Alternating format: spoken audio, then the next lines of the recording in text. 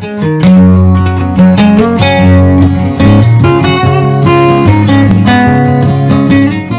meron tayong tomato, garlic, onion, um, the red bell pepper, beans, um, chi- chili flakes ba? Laurel, beef, carrots, potato, beef cubes, uh, black pepper, salt, and soy sauce. So, yan lahat ang ating mga ingredients. Pwede din siyang lagyan ng reno.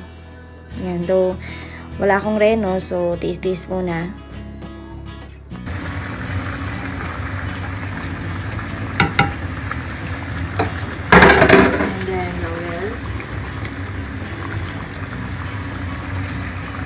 Laurel natin, yan.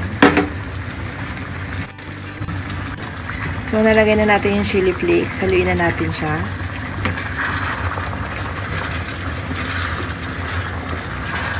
Ganda ng kulay niya. Maya-maya lagay natin yung bell pepper.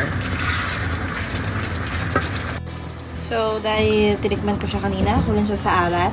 Para sa akin, kulang pa siya sa alat. So, lagyan natin ng fish sauce or patis.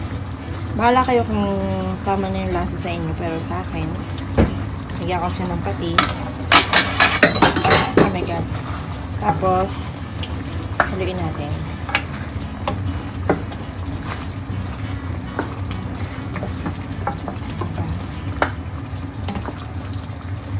So, lagyan na natin yung red bell pepper.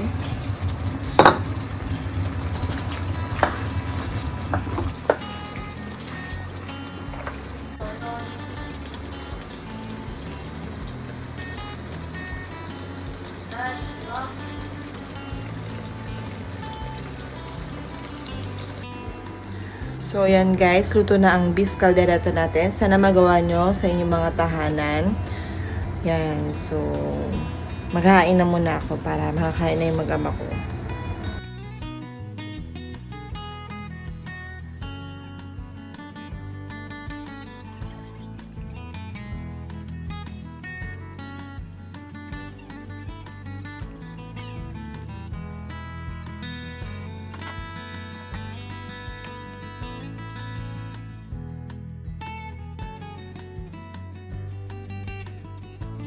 Sarap. Shan, anong masasabi mo dyan?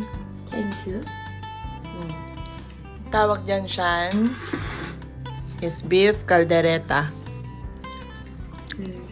Beef caldereta. Say mo? Beef. Beef Beef. caldereta. Beef. Caldereta. Caldereta. Caldereta. Hmm. Yan. Pagkain Pinoy yan, Shan. Masarap ba siya? Masarap ba, Shan? Po. Masarap po. Hmm, yan. So, thank you for watching.